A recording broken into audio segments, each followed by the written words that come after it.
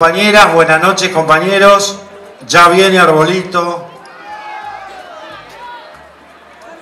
Nosotros, desde la gestión de la Universidad Nacional del Comahue, estamos muy, muy alegres que esto pase en la Universidad del Comahue. Le agradecemos profundamente a los compañeros y las compañeras de ATEN que hayan elegido su universidad para hacer este congreso.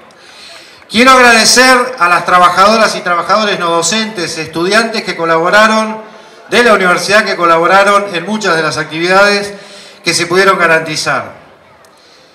Hace muy, muy poco, el ministro Bullrich, nada más y nada menos que Chuel Echuel dijo que su gestión era la segunda campaña del desierto.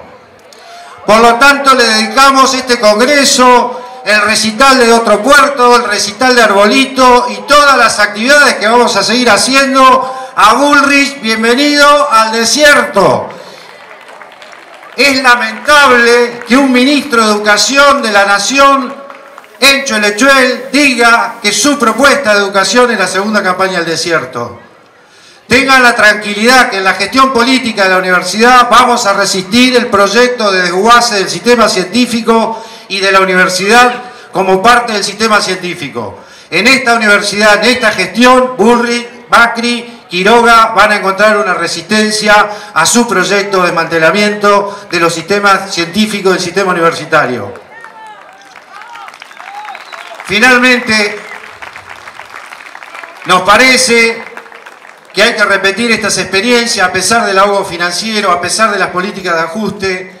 Cada día tenemos que estar más unidos, nosotros creemos que la militancia, como dijo Marcelo en la apertura del Congreso, es en las calles, es en las aulas y es también en los proyectos de gestión política como nos toca a nosotros administrar y gestionar la Universidad de Comagua en un contexto que nunca imaginamos, con un ministerio que se propone, nos propone nuevamente aquella película que ya conocemos los años 90, que la educación es un gasto, nosotros reafirmamos la educación superior es un derecho como lo es la educación pública debemos denunciar.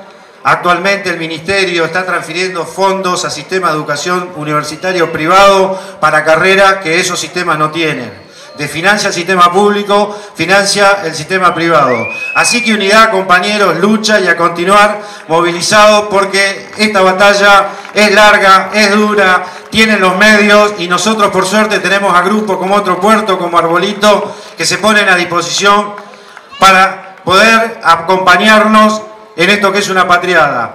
Seguimos reclamando por la libertad de Milagro Sala, por sus compañeras, por sus compañeros de Tupac Amaru, por justicia completa para Carlos Fuentealba, por la aparición de Sergio Ábalos. Y seguimos reclamando por todos nuestros derechos a poder participar democráticamente en un país que cada día nos quiere encorsetar y encerrar más. Frente a eso tenemos que estar unidos. Muchas gracias compañeros de ATEN y mucha suerte.